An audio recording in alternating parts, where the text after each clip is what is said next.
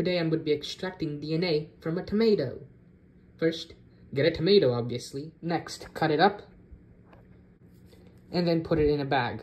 Once in a bag, give it a good pounding.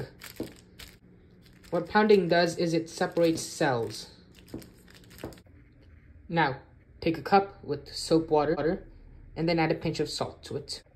Now let's come back to our bag of uh, pulped tomato. Pour the soap solution into the bag. The soap bursts the cell membranes open for the DNA to go out and the salt neutralizes the DNA. Pour the contents of the bag into the cup. There's DNA in the red solution that we have to get out.